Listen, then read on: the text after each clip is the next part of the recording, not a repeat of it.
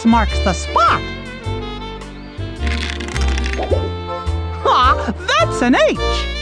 You're a natural. I see an I. An F. No fooling. G, do you see a C?